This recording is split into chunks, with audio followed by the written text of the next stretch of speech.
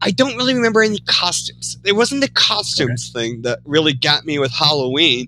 What I what liked, like about it? I liked was the Halloween parties and every place showing horror movies and the Halloween specials.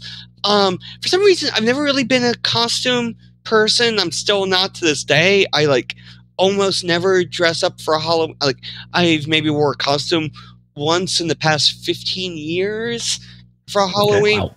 It's just not my thing. I what I really like go, doing is going out and seeing other people's costumes. I get bored very easy. I, I have been diagnosed with a, a rather strong um, um, Squirrel. uh, adult ADHD, which I'm sure everyone listening to this has already gathered and figured out by now. um, but I think about every, everyone over the age of, I would say, 30 or 35 has some degree of ADD at this point.